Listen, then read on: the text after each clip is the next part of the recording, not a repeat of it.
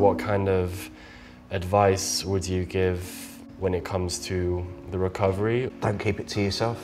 My recovery started when I start, started talking to someone about it. A good sort of coping strategy is sort of talking and sharing.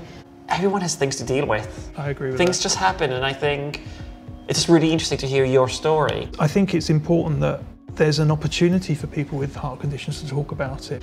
It's quite odd because it's not something that I normally sit down and talk about, which Yeah. is quite unique. Even today at work, when I was explaining, first time I actually did it in a work environment. is like one of the most important things that's really helped me, um, especially with like other cardiac patients. talking to people that genuinely do understand how you feel, which some of your friends never never can. They could be your closest friends that you've known for years and years and years, but they still don't understand what you're going through. And all it takes is like a reaching out to that person or a finding of that person to just share that experience and know that you're not like the only one in the world. I ended up joining the circuit training club and there's about 20, 30 of us and everyone there have all gone through rehabilitation. When I was around 17, I just Google searched, you know, youth groups for heart conditions. I think the support network is the best support anyone who's had a heart issue can get. I joined a support group, um, an online support group on Facebook, and I've actually um, started help running that now.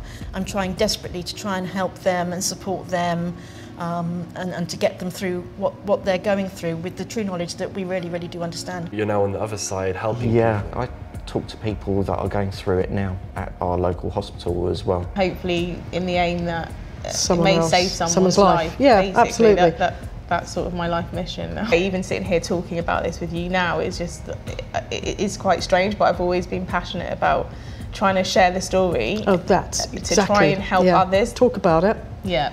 so that people become aware, and if they become aware, knowledge is, is Knowledge is power. power, Definitely. definitely. Oh, I was speaking the same.